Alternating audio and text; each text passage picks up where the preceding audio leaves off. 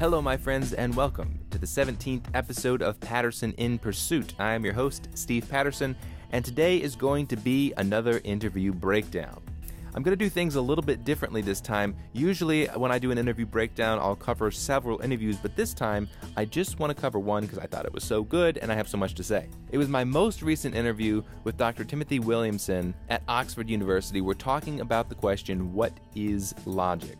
You'll have to forgive, you can probably hear a little chirp in the background. That's because right now I'm kind of in the middle of nowhere and the crickets are unbelievably loud. So you'll just have to act like this is philosophy in the wild. And before I start, I really want to give a special shout out and thank you to a few new Patreon supporters who are helping to make this show possible. They are actively helping to create a more rational worldview.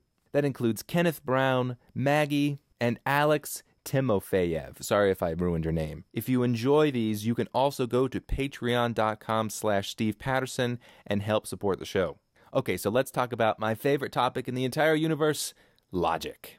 All right, so one of the first questions is what is logic in the first place? You ask a lot of different people, you get lots of different answers, and I really liked his response here.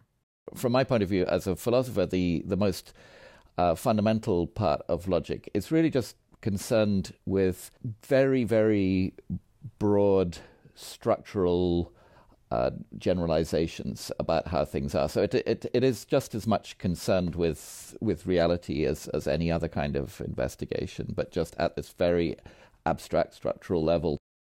So I really like this answer. I think it's very accurate that when we're talking about logic, we're not just talking about the rules for reasoning or some arbitrary human convention. We're really trying to discover the most fundamental truths about the nature of reality itself. What I like to say is that logic is the rules of existence, which means that all existent things, by virtue of them being things, play by logical rules. These rules are something that aren't optional, they are inescapable, and that's what the study of logic is. And most people so far that I talked to aren't willing to take such a strong position, but I think Dr. Williamson's position on this is as, close to my own worldview as anybody that I've spoken with. So naturally, the next follow up question is to ask about whether or not there are different logics out there. If I have my logic, you have your logic, another culture has their own logic. And what you would expect is that if logic is something that has to do with the rules of all existence, then there would just be one ultimate logic out there. Historically, this idea that there are multiple logics out there has been called logical pluralism, which I asked Dr. Williamson if he's sympathetic to. I'm not a pluralist about logic. It seems to me that the uh, the questions, the, the most fundamental questions that we're we're asking, have have right and wrong answers, and if if two people are giving in, inconsistent answers to a question, then um, at least one of them is wrong.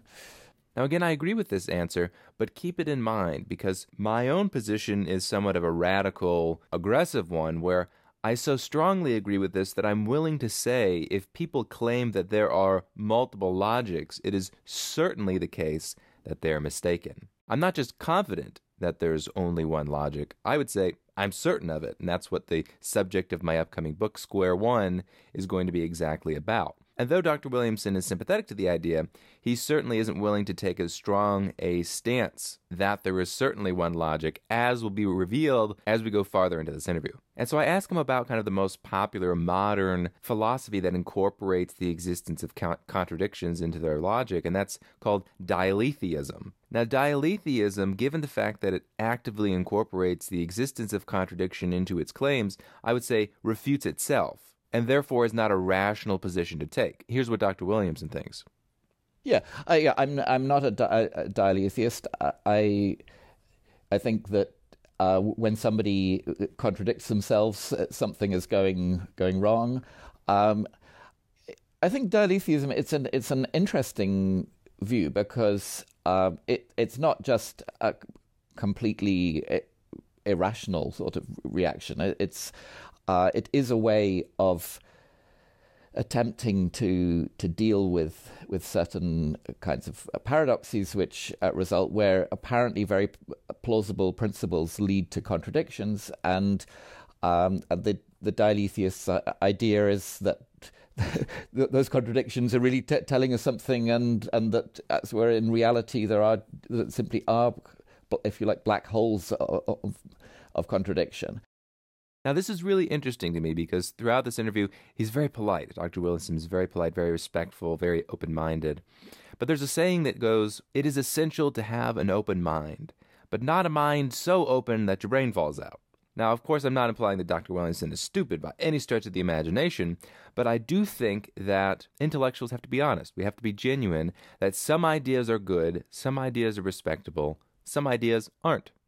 And I am not willing, just for the sake of politeness, to give this polish of respectability to a set of ideas that is certainly wrong and what I would say is ridiculous. Now, the list of ideas that I qualify as being utterly, patently, openly, self evidently ridiculous is very small. Very, very small list. I'm willing to listen to the people who are considered uh, crazy by society standards. This is a true story. Several years ago, I was living in upstate New York, and every Sunday there was a guy that came out on the sidewalk with his own guitar. And he would sing songs every single Sunday about some r- religious thing. Everybody can call them crazy. Well, I'm interested in those people. I, I would like to hear what they have to say. I find them interesting, and it's certainly possible that maybe they're right.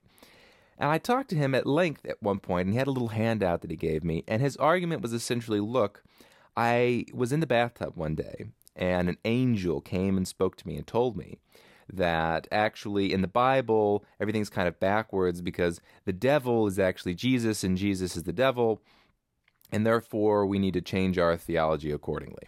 Well, I don't agree with his ideas, but I'm willing to at least take them seriously. I don't find them self evidently, certainly false, right? It might be the case that this guy could be a prophet for all I know. Well, I listened to his argument, I wasn't persuaded by it, but at least it's possible.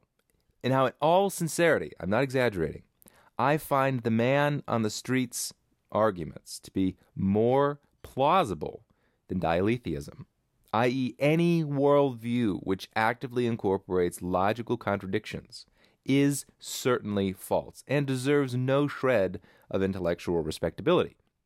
It is aggressively anti intellectual. So I am myself personally extremely open minded, but not to the point where I'm willing to entertain this idea that somehow you could have a true contradiction. When you have a full, clear conception of what a contradiction is, you can have certainty that there could be no such thing as a true contradiction. Okay, so what's also interesting about his response is that he very clearly grasps the severity of what the dialetheists are claiming. He's saying that they're not just claiming con- language is contradictory. The dialetheists are trying to tell us something about reality, that in reality you can have actually existent contradictions that you just kind of have to deal with. He calls them black holes. And my position is that's far too polite. What I would say is it's certainly not the case unbeknownst to the dialetheist, that they can claim anything about reality because reality cannot be contradictory. So, to the extent you think that something is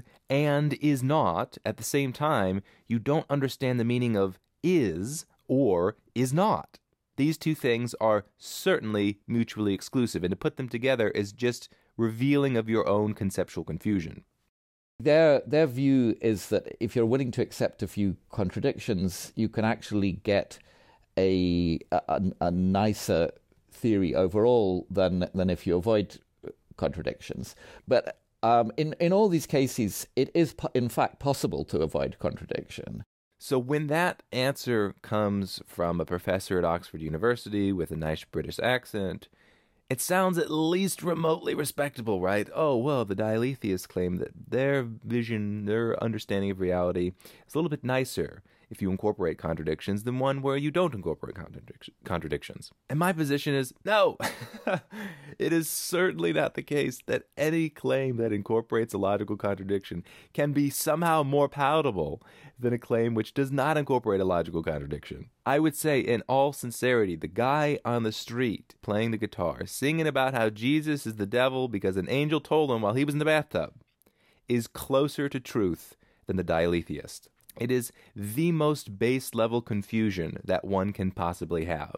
To entertain the idea that there somehow could be a true contradiction, you literally could not be further away from the truth. It's a denial of the existence of truth. It's a denial of the existence of reality. It's a denial of the importance of rationality and consistency. It is the furthest, most anti intellectual position that one can take. But of course, if you are in the academic world and Graham Priest is somebody that you interact with and people are going to listen to this interview in your professional circles, you can't say that. You have to take a much more mild position. So my guess is that Dr. Williamson actually believes what he says. I don't think he's uh, I don't think he's lying or just saying what is uh, expedient for his career, but I do sincerely think that the way that he and nearly every academic treats the supposed plausibility and respectability of arguments is mistaken. Now, if Graham Priest, who is kind of the creator of dialetheism, if he weren't a professional philosopher, if he was just some guy, some guy outside of academia, heaven forbid, and he were to make the claims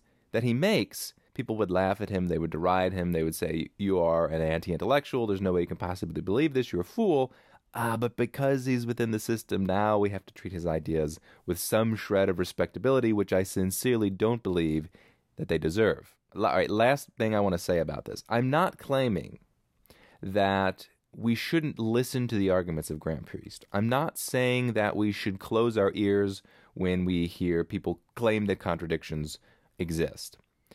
Quite the contrary. We should certainly listen listen to them because it helps us understand the use of language better. It helps us understand how people become confused. It helps us understand the profundity of logic, which is essential for creating a rational worldview, is to just fully grasp how incredibly profound the nature of logic is. That we can understand the most fundamental rules of all existence is an incredible phenomena. And by grappling with the dialetheist arguments, it helps you gain a deeper appreciation for that.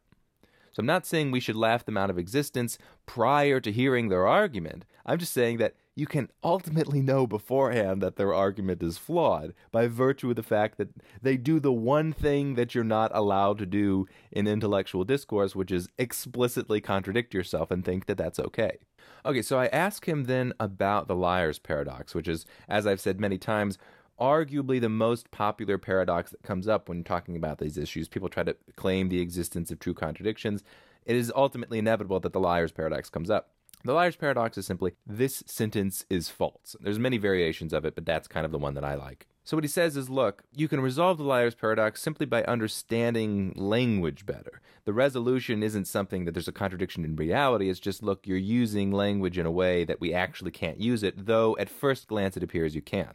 I agree with this. The liar's paradox us some, tells us something about language, doesn't tell us something about reality. But the dialetheists do something else.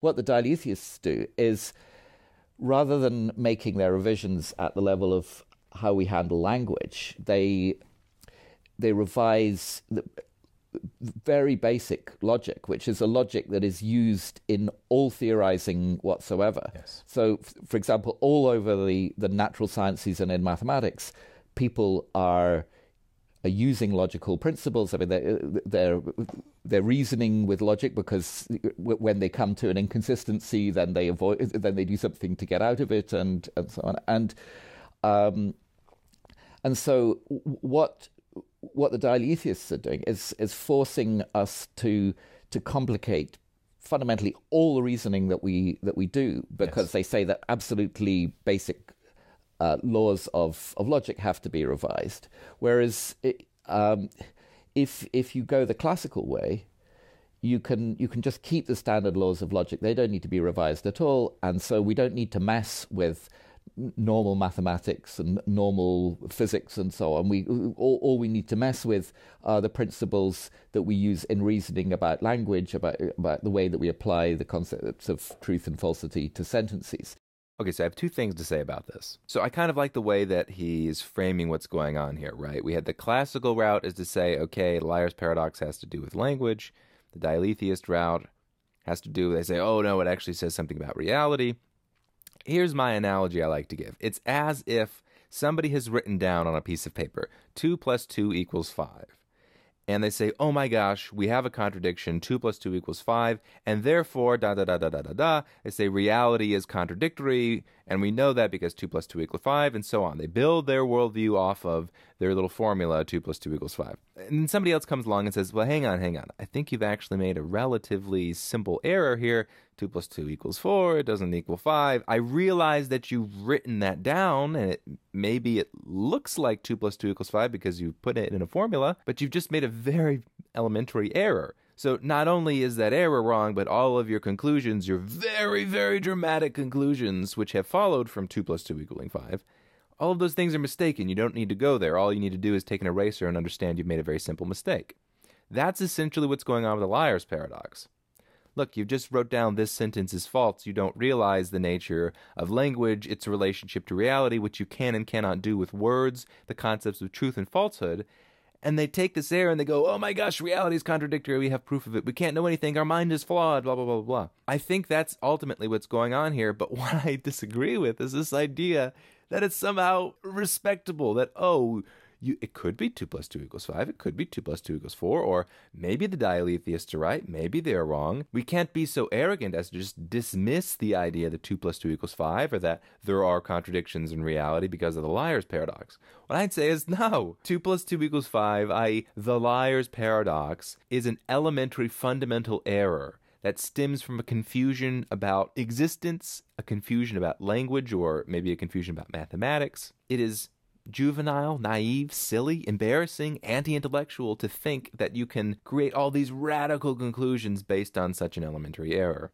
Okay, so the other thing I want to say about this is something that has so far been universal in all of my conversing with professional academics, and indeed a lot of people in the general public. And it has to do with what I'll not so nicely call a groupthink mentality. Even in the way that we're talking about something like logic. Let's say, well, classical logic is used in physics and it's used in mathematics and it's used in chemistry and it's used in all these areas of thought. Therefore, we probably shouldn't throw it out because we use it everywhere else. This reminds me a little bit of the conversation I was having with Dr. Westacott when I started this series, where it's kind of this communal search for the truth. That people are making progress here, so we have to respect that they're making progress, they're using th- something, and if all these different people are using the same thing, gosh, that probably means that that thing is true. I completely reject this. I think it's totally wrong. I don't think that the pursuit of truth should be a communal thing. It needs to be an individual thing. And it doesn't really matter if everybody is using classical logic in all these different areas. I mean, that's nice. If you understand what logic is, you'll understand why that's the case. It's because those are the inescapable rules of all existence. So, of course, you would see the application of classical logical rules in all these different areas of thought, at least the sensible ones, but that doesn't give it any more plausibility than what it has by itself. If nobody ever had discovered classical logic, and if everybody was using some kind of mystical, logically contradictory way to arrive at their conclusions, it would make no difference in the matter whatsoever. Those people who are the mystics, who believe that A and not A is true, they're wrong, even if it's the entire field of academia or the entire group of religious leaders and churches and your entire community, to the extent they use a flawed methodology, they're wrong. It doesn't matter how many of them do so. And if there's only one person, if you're the only person who has discovered the inescapable rules of existence, you're right. You have discovered something which is certainly true, and you can say from your perspective that everybody else is wrong. Now, if you take kind of the more groupthink mentality, you're not allowed to do that. You can't say, oh, well, I'm the one person that's right, everybody else is wrong. You have to say, oh, well, everybody else is probably right, and therefore I'm probably wrong. If you've read any of my other work, you know this is very consistent with my discoveries of the mainstream conclusions of academicians. Not only do I think it's methodologically flawed to take a groupthink perspective, I think in practice, it is demonstrably flawed that you get these ridiculous ideas like the Copenhagen interpretation of quantum physics, you get dialetheism, you get Keynesian economics, you get all kinds of catastrophically flawed ideas that are arrived at by large groups of supposed intellectuals. My kind of lone wolf solo philosopher approach, I think, is a much more accurate method of discovering truth than the alternatives. It might not be as popular. People might think that you're a jerk or crazy or something like that but I am convinced that it is a more accurate way of careful reasoning and building a logical worldview than being very sympathetic and kind of giving default respect to anybody or any group's idea just because they happen to believe a certain thing. even if that thing is self evidently, explicitly, logically contradictory. So I kind of indirectly told Dr. Williamson that that's my idea, that these ideas really aren't even respectable. The term that I use, I think accurately so, is coherent. My point is to say that not only are these ideas really not respectable, they're not even coherent. They don't even make sense. And this was his response. It's too extreme to suggest that, that dialetheism involves total intellectual anarchy where just anything goes. I mean, dialetheists, they do have some principles of logic that they adhere to. Uh, and you know, if you but talk, they don't contradict. They, it's not that they have avoid contradictions, but there are various other principles that that they adhere to. So, um, you know, th- there is some discipline to the way that somebody like Graham Priest talks. Uh, there is discipline. I think uh, certainly that is the case in the sense that they sit down and write books and and formally try to develop a theory. But what I'm what I'm trying to get at is, um, can it be that a theory is internally coherent if it's not internally consistent? Can you have co- like can, can you say yes? I fully understand this subject matter, even though within my understanding there's a contradiction. Well, of course, I think it's I think it's it's wrong to say that because it, there are no c- true contradictions right. on my on my view. But um, if if by incoherent you mean something like a, a theory that just totally collapses, then that is not the case for dialetheist theories. So again, I, I just have to disagree here. I mean, what I would say is what we mean by a theory collapsing is a discovery of a logical contradiction.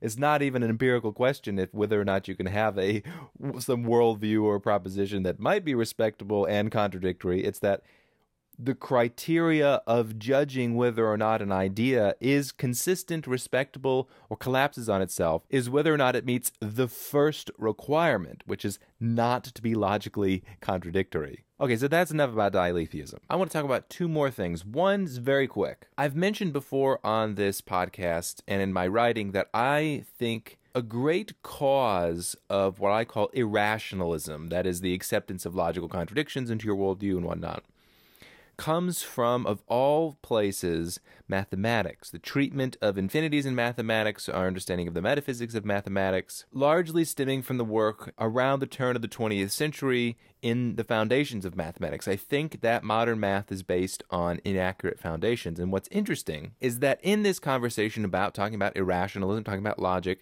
Dr. Williamson brings up the fact that we had to really revise our thinking around the turn of the 20th century with the work of George Cantor in set theories in his supposed treatment of infinities. So listen to this exchange.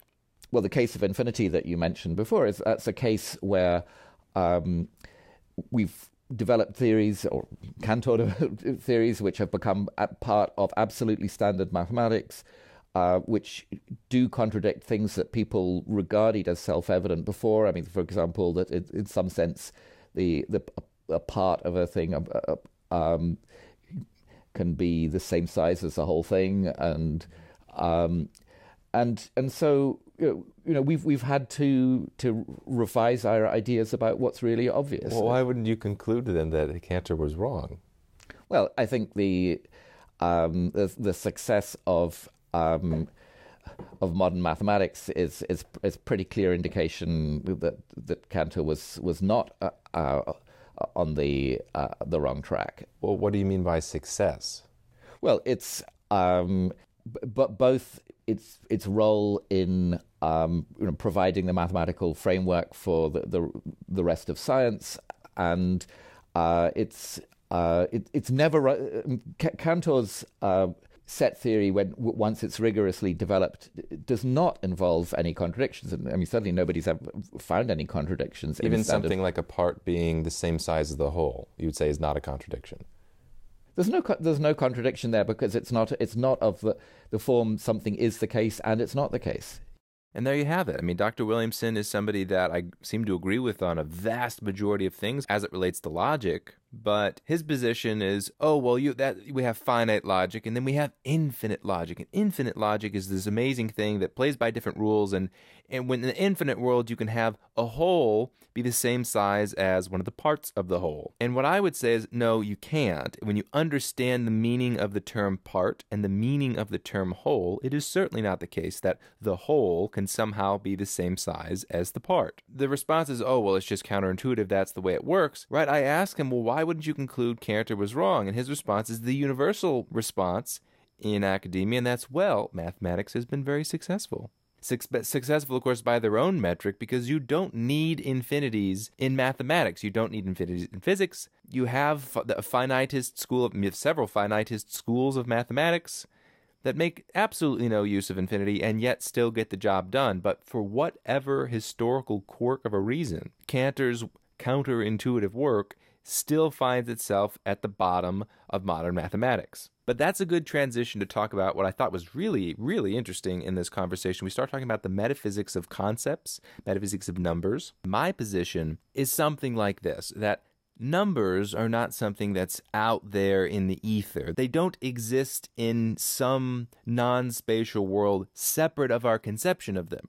To the extent they exist, they're ideas, they're concepts. The number seven isn't some entity that's floating out there. Seven is a concept. It's like the term several. You can't have several that's just floating out in the ether. Several is just a concept, it's just an idea. So here's his first response there are ideas and there are what the ideas are of. And um, I mean, there's there's the number one and there's a concept of the number one, but those are those are uh, distinct. I don't think they are. I think that that is the presupposition of Platonism that one is out there, separate of our conception of it, and I don't think that makes sense. Okay, so that's the central issue. And I, I, you hear this all the time when talking about the foundations and the, the metaphysics of mathematics. People say there's the concept of one, and then there is one. Just like there's the concept of a horse and there is the horse itself. But my position is sometimes the concepts don't have an external referent. Sometimes the concept or the idea is the whole thing. Here's the example I love to give. The analogy I use, just you know, we're in England, is Harry Potter, right?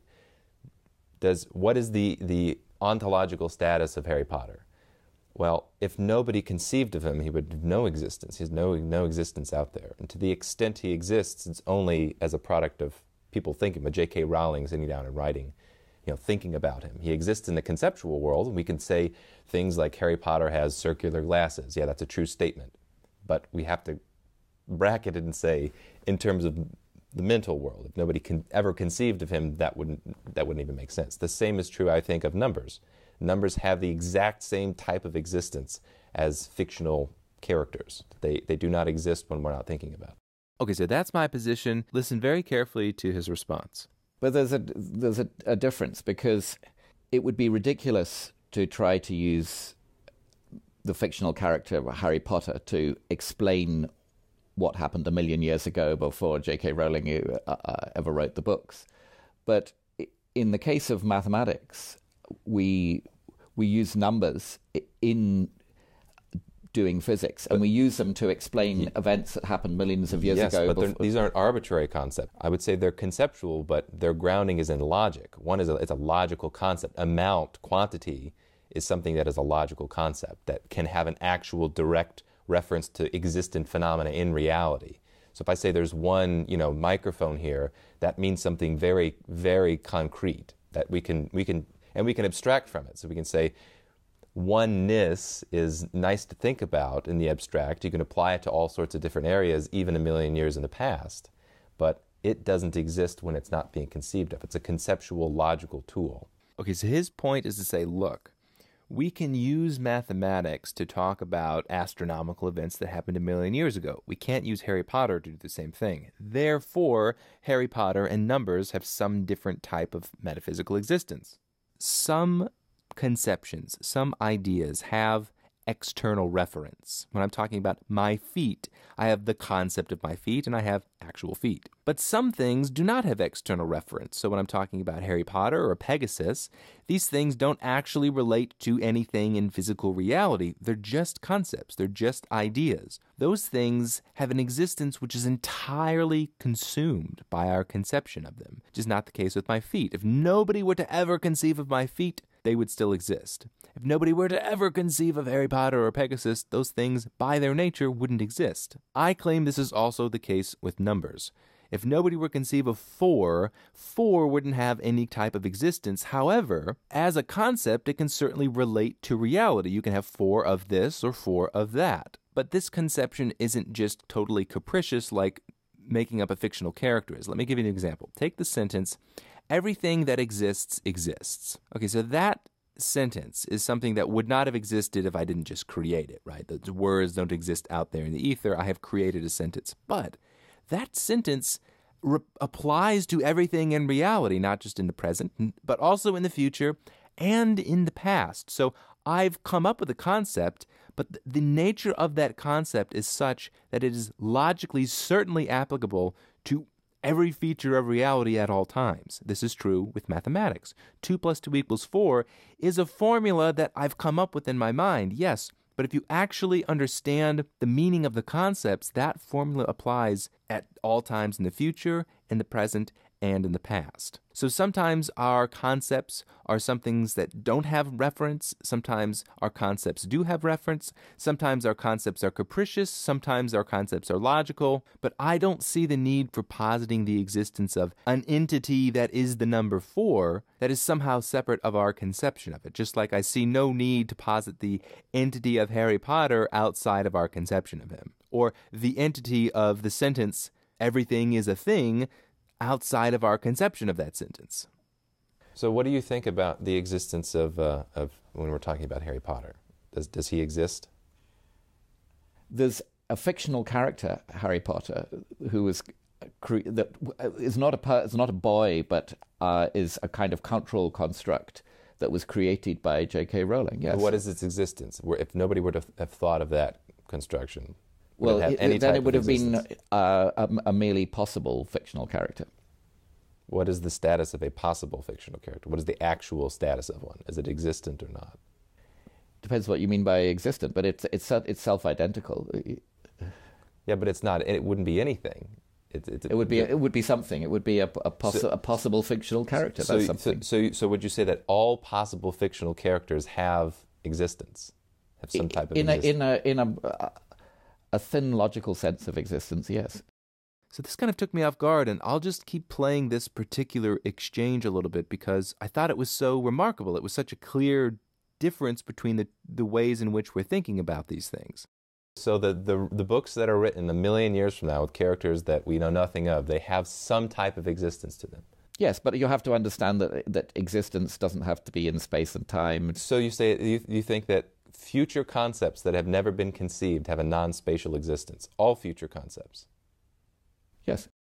Now, if you're listening to this and you're as surprised as I am, do leave a comment or send me an email or something. Is it the case that this doesn't strike other people as completely nuts?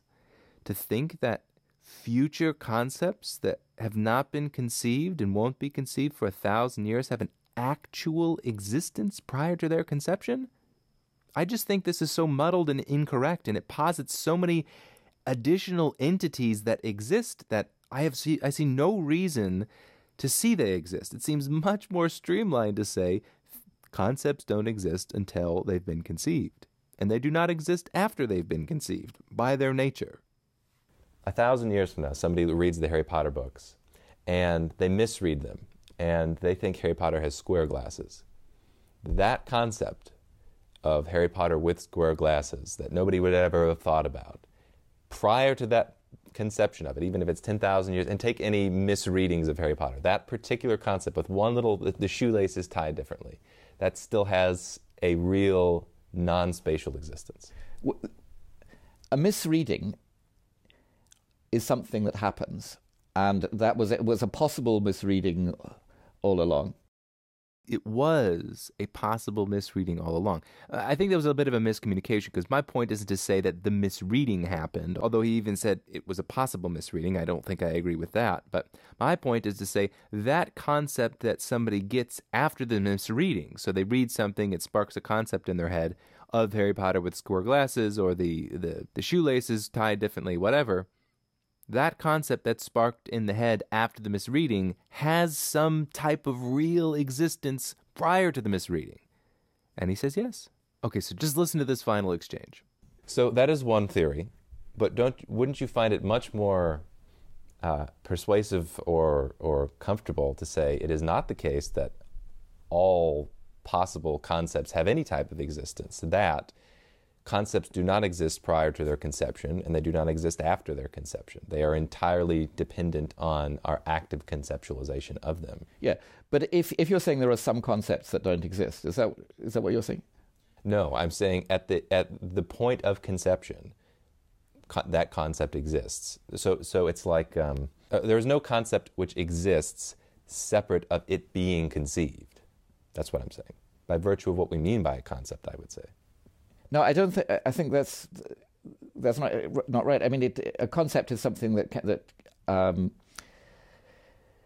is a way. Uh, it's a way of conceiving something. Like the concept, the the concept of uh, of London. Let's say. It, I mean, it's a, a, way of thinking of London.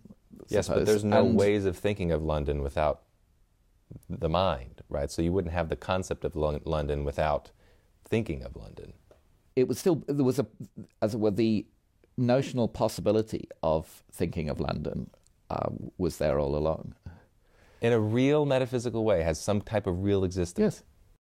So I think that metaphysical idea posits the existence of a heck of a lot more metaphysical entities that than I am comfortable positing. Namely, every single concept that anybody has conceived from the beginning of time until forever has a real existence independent of our conception. Those concepts which are never conceived have some type of real existence that is never realized.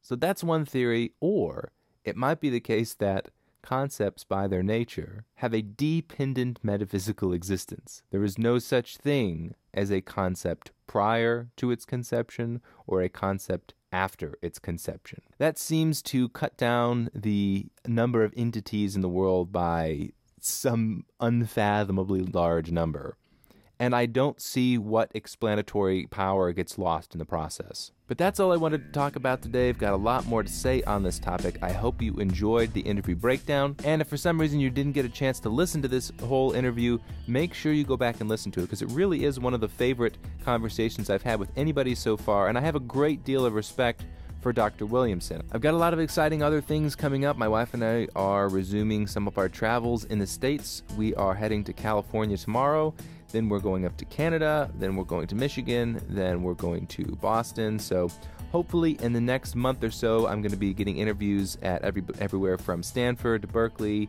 and uh, Harvard. So a lot of really cool things coming up. Make sure to stay tuned. I hope you guys have a fantastic week.